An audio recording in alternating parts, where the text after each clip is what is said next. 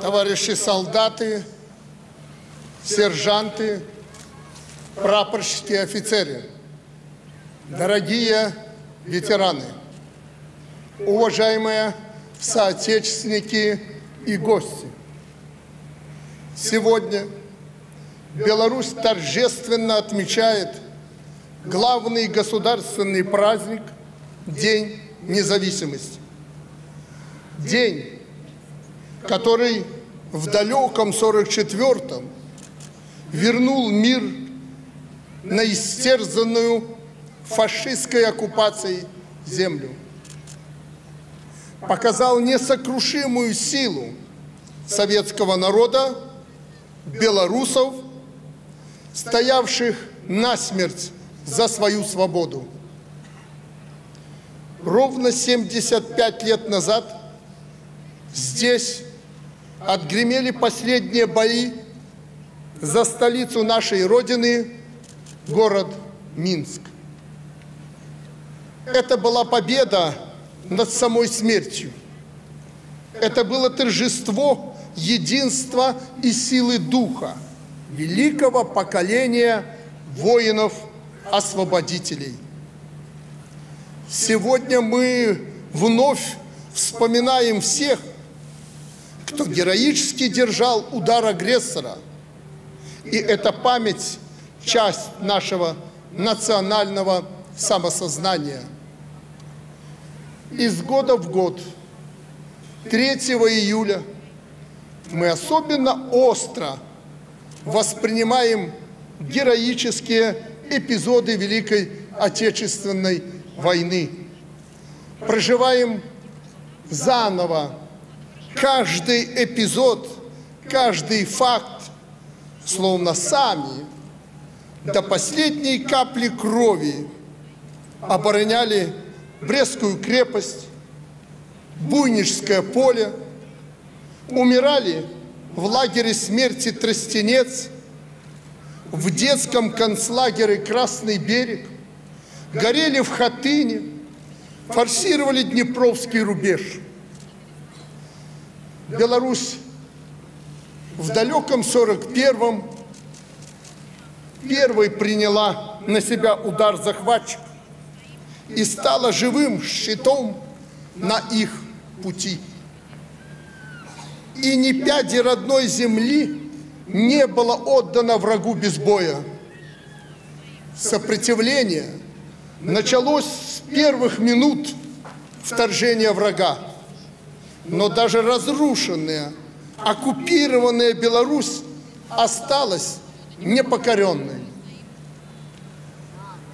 Дорогие друзья, мы 75 лет живем под чистым небом. Во имя священной памяти героев Великой Отечественной войны обязаны сохранить мир и независимость своей земли, передать эту самую большую ценность нашей жизни следующим поколениям. Выполнить эту важную миссию значит достойно противостоять вызову новых глобальных конфликтов, военных, информационных и экономических. Таких, которые охватывают все сферы жизни, разрушают государство изнутри и отбрасывают на десятилетия назад в развитии. Иногда без единого выстрела, но все чаще по кровавым сценариям. В это глобальное противостояние втянуты и небольшие государства. Все сегодня воюют против всех. И это происходит не просто вокруг нас, а рядом с нашими границами. Мы намерены использовать все резервы для восстановления стабильности и спокойствия в регионе, выдвигая миролюбивые инициативы Мы стремимся к главной цели – найти новые пути и методы налаживания взаимоотношений между различными геополитическими силами. Исключительно для обеспечения мира на своей земле мы укрепляем боеспособность вооруженных сил, других воинских сил и формирований. С главным нашим стратегическим партнером России осуществляем военное строительство, направленное на повышение обороноспособности союзного государства.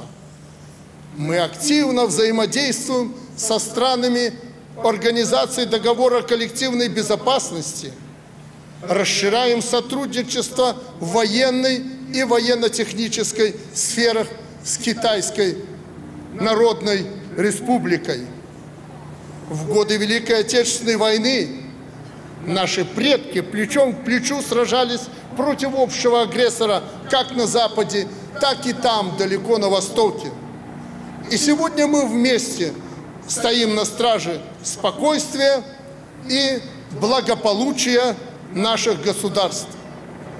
В этом году в параде войск принимают участие военнослужащие вооруженных сил России и Китая, а также братских государств. Уважаемые товарищи, в этот праздничный день самые теплые слова благодарности мы адресуем участникам и ветеранам Великой Отечественной войны, ветеранам, сражавшимся в те годы в рядах Красной Армии. Дорогие соотечественники, в этот священный для каждого из нас день желаю вам счастья, мира, благополучия. Слава белорусскому народу, отстоявшему свободу и независимость Отечества. Слава белорусской армии, гаранту нерушимости наших рубежей. С праздником! С Днем независимости Беларусь! Ура!